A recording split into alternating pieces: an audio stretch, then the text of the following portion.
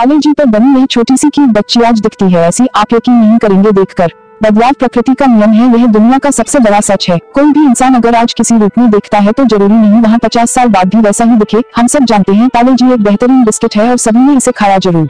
होगा। वैसे तो पाले जी हमारे बचपन से आ रहा है और हम सभी को यह बहुत पसंद होता है। आज पाले जी के अलावा दुनिया भर में कई सारे बिस्किट आने लगे हैं और उन बिस्किट का रेड भी पेपर और कई जगह दिखाई देता है, पर पाले जी का नहीं दिखाई देता है। आज हम आपको बताने जा रहे हैं की पाले जी पर छपी छोटी सी लड़की आज कैसी दिखती है। वैसे पाले जी तो हमने बचपन से ही खाया है और कई लोग उसे खाते रहते हैं। पाले कंपनी की शुरुआत मुंबई में उन्नीस सौ उनतीस को हुई थी, लेकिन उस समय यह कंपनी बिस्किट नहीं बनाती थी। पाले जी बिस्किट बनाना दस साल बाद उन्नीस सौ उनतालीस में शुरू किया था।